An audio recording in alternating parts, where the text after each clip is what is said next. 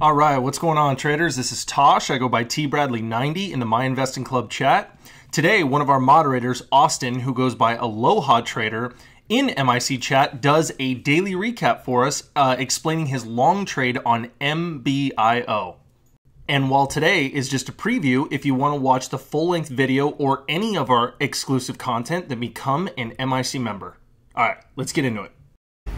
Hey everybody, Austin here. Back for another trade recap, but before I do, I want to say I'm not licensed, I'm not registered, not a financial advisor, and none of this should be taken as investment advice, even if it sounds like it.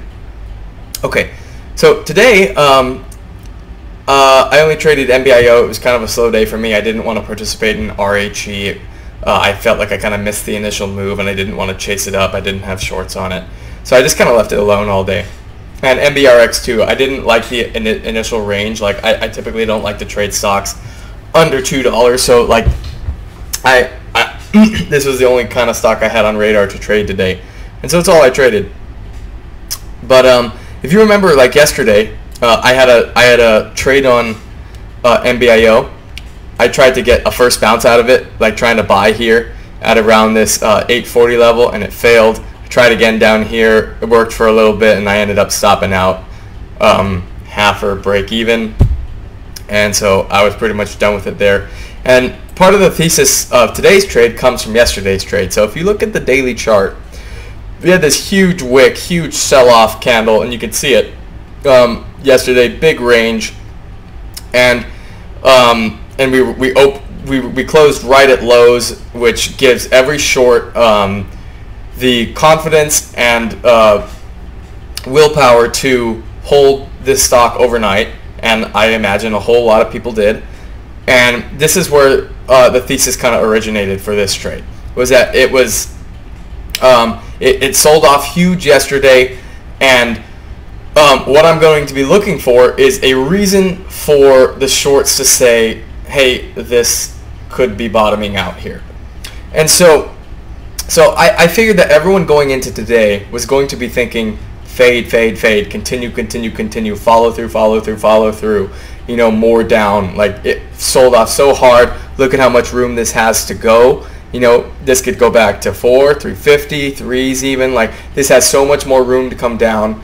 Why wouldn't you hold for it? So I, I just had a, I had a suspicion that a lot of shorts were in the stock. It was so nice to them too. Every pop got sold. Every pop got sold. Every pop got sold. It was easy to borrow. Like I just I couldn't see shorts not holding this overnight. So that was a big part of the uh, the thesis behind this trade.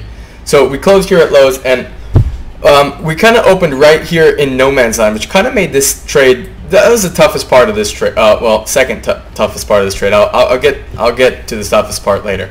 But one of the toughest parts of this trade was I didn't really have a solid level, which I normally like to go on. Like I like to have a solid level. Like if this level, if this would have gapped down to five, that would have been like that would have made it kind of easier to decide if I was going to trade it or not, because five is such a whole psychological number. Like it's it's easy for me to t- like I can tell if price action is going to tell me are we holding five or not. Right. Important levels to me seem like six, six thirty, you know, four fifty, um, and five dollars is that whole psychological number that I just talked about. Like if it had opened at one of those levels, it would have been kind of easier in a sense.